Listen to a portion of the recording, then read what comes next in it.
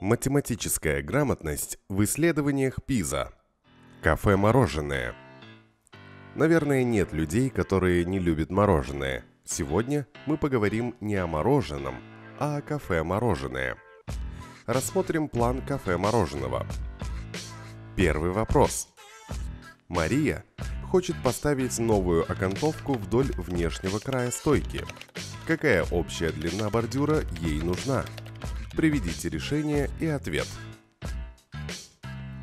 Найдем ответ с помощью чертежа.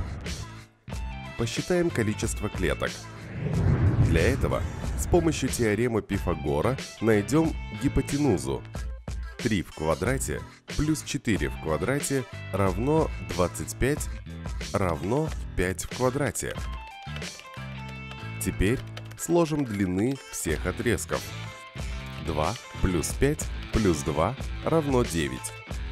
Так как размер клеток 0,5 умноженное на 0,5, полученную длину разделим на 2. 9 разделить на 2 равно 4,5 метра. Ответ 4,5 метра. Второй вопрос.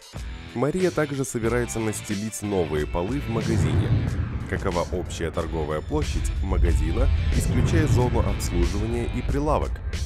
Показать решение. Для этого от всей площади пола надо вычесть площадь рабочей зоны.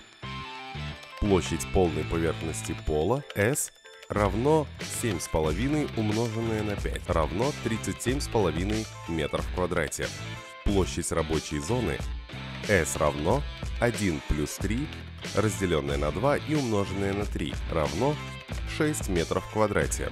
Площадь оставшейся поверхности S равно 37,5 минус 6 равно 31,5 метров в квадрате. Ответ 31,5 метров в квадрате. Мария хочет иметь в своем магазине наборы столов и 4 стула. Как показано выше, круг представляет площадь пола, необходимую для каждого набора. Чтобы у клиентов было достаточно места, когда они сидят, каждый комплект, представленный кружком, должен быть размещен в соответствии со следующими ограничениями.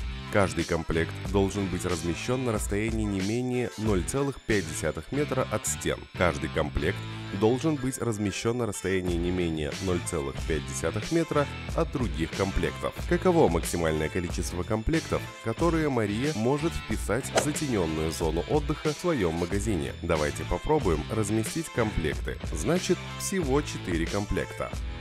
Как видите, математика с нами даже на отдыхе в кафе. Изучайте математику, она вам обязательно пригодится.